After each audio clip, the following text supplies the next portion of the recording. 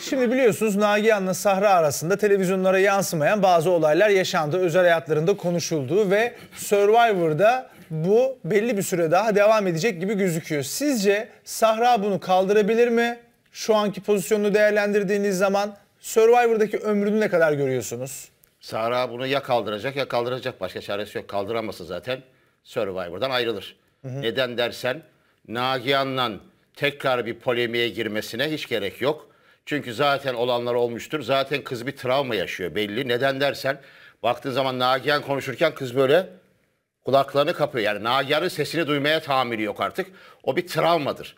Yani o yaşadığı olaydan dolayı bunu geçirmiş. Ama ve lakin burada o olaydan sonra Nagihan'a iki ceza verildi.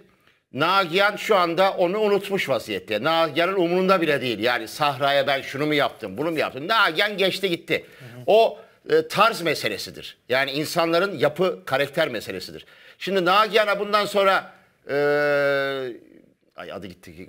Sahra. Sahra. Nagihan'a Sahra ile ilgili Nagihan'ın umurunda değil artık Sahra mağara. Nagihan yapacağını yaptı ayrıldı Sahra'dan. Şu anda Nagihan'ın şunu Nagihan şu anda yine Survivor'a konsantre oldu. Yaptıkları da uçtu gitti Nagihan'ın. iki tane ceza aldı. Fakat Sahra şu anda onu yaşıyor hala. Onu Sahra'nın yaşaması Sahra'ya hiçbir şey kazandırmaz. Aksine Sahra'yı daha beter aşağıya çökertir. Peki sizce aşabilir mi bu durumu? Aşamaz. Zor. Kız kulaklarını kapıyor abi görmüyor musun? Zor aşması. Aşar. Yani e, bana göre aşamaz. Ya zaten aşsa ne olacak? Sahra'nın ya aşarsa yani Sahra sanki alıp adayı mı yıkacak abi sizde yani aşacak bir şey yok. Sahra'nın zaten performansı belli. Sahra o performansını da düşürür. Bunu takarsa kafaya. Yoksa Sahra şimdi ki hangimiz deriz Sahra alacak şampiyon olacak Survivor'da falan falan. Yani o zor bir şey. Ama iyice kendine zarar verip daha önce oralardan ayrılmasına sebebiyet verir. Kendi kendini yakar yani. Ha, şey e, Nagihan'a hiçbir şey olmaz. Sara kendi kendine burada kulağını filan kapar. 10 sene geçer yine kulağını kapar. Nagihan umuruna gelmez. Nereni kaparsan kapar der Nagihan. Hiç umuruna gelmez Nagihan'ın. Anladın? Buyurun. Yani Sahra aşağı dediysen tabii ki bence de aşağı da hani Sahra Nagihan'ı yener mi diye sorarsanız çok kolay kolay yenemez. Buradaki bu isyanın ben ne olduğunu açıkçası anlamadım. Hani Sahra böyle Nagihan'ı sürekli yenen bir yarışmacıydı da bu olaylar yaşandıktan sonra travmasından sonra 40 yılın başı Nagihan'a yenilip ya delireceğim nasıl olur noktasına niye geliyor ki Sahra? Zaten Nagihan'ın Sahra'yı yenmesi çok olası bir senaryo. Sahra Nagihan konusunu aşsa da Nagihan onu yenmeye devam eder. %70-80. Ee, Sahra bu konuyu aşamasa da Nagihan yenmeye devam eder. Murat abi çok haklı. Aşamazsa daha da yenilir. Yani yeneceğini de yenemez bu sefer ama ee, aşarsa da tablo yani parkurdaki tablo aşırı değişmeyecektir. Şimdi Sahra burada bana birazcık ekstra şaşırıyor gibi geldi yenilgisine.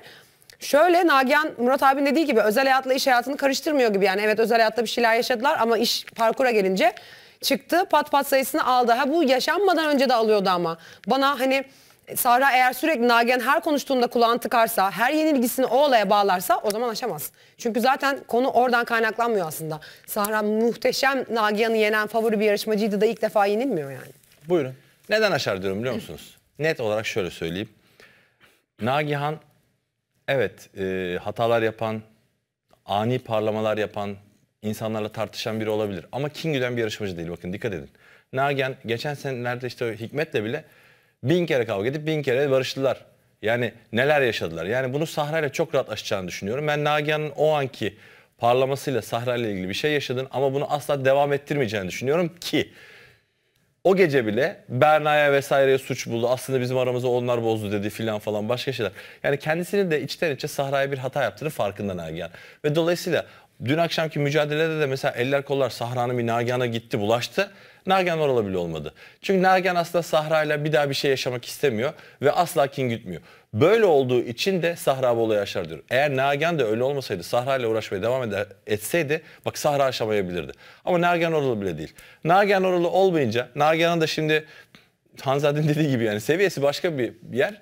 E, Sahra'nın şimdi seviyesi başka bir yer. Dolayısıyla e, rekabet ortamında da böyle her zaman Nagihan zaten önde. Dolayısıyla bu olayı ben 2-3 günde aşacağını düşünüyorum hatta Sahra'nın. Bakın göreceksiniz Kalsınlar arada bu iki yarışmacı. İleride bir yerde onlar şey de olur. Sohbet etmeye de başlar. Dün akşam konseyde İhsan'ın tam dediği yaşandı bu arada. Ben Nagihan'dan o enerjiyi aldım. Şey dedi ya e, zaten biliyorsunuz Berna yüzünden biz Sahra ile de kötü olduk. E, işte bu Hani yani- hiç Sahra ile alakası yok aslında. Berna yüzünden olduğu getirdi. Dediğin gibi King gütmediği doğru ama Sahra'nın bu kulak tıkama vitesi de Nagihan'dan çok öte bir boyutta. Ama şimdi şöyle düşün. İlk defa Sahra dönüyor. Hani iki gündür yok ortalıkta zaten bir belli bir sıkıntı yaşamış kız psikolojik vesaire.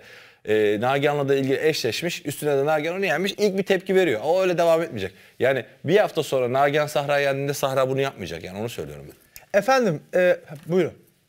Yok sen hani şey diyorsun ya ne sıralama diyorsun onu söyleyemedim. Kronolojik. Ha kronolojik. Kronolojiyi bozabilir miyim çok kısa? Buyurun efendim. Peki.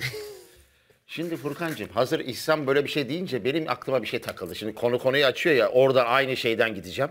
Hani yarın öbür gün Hanza şeyle e, Nagihan'la Sahra barışırlar falan dedi ya yüzde yüz katılıyorum. Ha yarın öbür gün bir yerde bir konuşacaklar onlar. Çünkü genelde yarışmacıları hep öyle oluyor yani. Birbirlerine kavga ediyorlar falan 10 dakika sonra kedi gibi oluyorlar. O ayrı konu. Şimdi bir yerde bir kedi daha gördüm ben. Bu İhsan'ın söylediğini aklıma geldi. O kedi de Berna. Şey Berna diyorum ne Berna'sı? doğru doğru Berna. Ya ay Berna diyor. Tüh. Hani, Nefise isimleri mi? ka- Yok ya şey. Yasin Nefse'yi diyorsun sandım. Pınar mı diyor? Pınar Pınar ha. Pınar. Şimdi bu Pınar kardeşim bak kafama takılmış o benim. İhsan söyleyince aklıma geldi. Şimdi bu Pınar bu Aleyna Kalaycıoğlu'yla Pınar arasında bayağı bir çatışma yok mu? Ben yanlış mı görüyorum? Ben başka bir şey izlemiyorum değil mi? Bayağı birbirine çatışıyorlar devamlı. Bayağı bir laflar onlar bunlar. Yani bunları mesela şimdi ben e, se- seyrediyorum Survivor'ı eve gidiyorum rüyama şey giriyor mesela bunlar birbirlerine girmişler mesela gırtlak gırtlağa falan öyle zannediyorum ben. Berna daha çok yapıyor. Aleyna'ya daha çok saldırıyor. Pınar. Şey, Pınar. daha çok saldırıyor. Fakat abi Pınar'ın bir görüntüsünü gördüm. Ben dedim herhalde tımarhaneye yatacağım çünkü ben dedim yani inanamadım yani. Bu dünden önceki akşam galiba. Ha şu şu şu. Evet, Onu versene önce- Yaşar'cığım. Heh bak. Abi Pınar Aleyna Kalaycıoğlu'na neler yaptı, neler dedi, şu dedi, bu dedi. Bak gitti artık şimdi orada Aleyna Kalaycıoğlu'na muhabbete girmiş. Ben anlamıyorum yani bunların bu tarzlarını, hareketlerini. Bir de bir de övüyor orada Aleyna'yı. Bu arada onların kaybettiği konsey. Evet bak. Ben önce. Ya bu nasıl bir şey kardeşim? Sen iki dakika önce bundan gırtlak gırtlağa giriyorsun. Kan gövdeye götürüyor. Birbirinizden nefret ediyorsunuz. Orada onu söylüyorsunuz burada. Sana kim dedi onun yanına git konuş diye. Arkadaş bana bir izah etsin ya. Ama abi Pınar Ama dün dedi ki akşam- oyun alanında, oyun alanında ben profesyonelim. He. Milli atletim. Evet. Ben oyun alanında takım arkadaşı olurum. Bunu zaten en başında Ay, söyledi kız. olsun. Ama ben adada sevmem dedi. Ada yaşantısında beraber olmam dedi Tamam kız. da İhsan'cığım şeyde olsun. Mesela yan yana yarışıyorlar ya. Oyunu konuşurlarken vesaire olmak zorundalar Burada ya. o- abi bak ben sana şey söyleyeyim oyun ya. bitmişti. Bu nedir abi? Bu oyun oyun bitmiş. İhsan Allah aşkına ya. Ama dün akşam aralarında şöyle güzel bir diyalog geçti. Mecbur musun İkisini abi gidip takdir orada ettim. konuşmaya? Ee, Aleyna bu arada hiç yersizdi. Aleyna şey diye sordu. Ee, Pınar beni sen yazdın değil mi dedi. Çok yersiz bir soruydu bu arada. Daha oyun bitmemişti sanırım. Ee, Pınar da evet dedi ama Aleyna'ya da şöyle güzel bir cevap verdi. Bu arada bir tek beni yazanlar arasından seni e, gururlu, onurlu tam kelimeyi hatırlamıyorum ama senin yaptığın hareketi Mert buldum dedi. Çünkü zaten Doğru. bizim bir davamız var. Çok Doğru. doğru. İkisi de çok haklıydı. Doğru. Güzel bir diyalogla biz, biz sonlandı. dün konuşamadık yani. Pınar'ın Aynen, yazılması kadar yanlış bir şey. Yani bir tek Aleyna'ya Orada bir tek verebilirim. yazması Aynen. Pınar da bunu kendi Aleyna'ya söyledi. Thank you.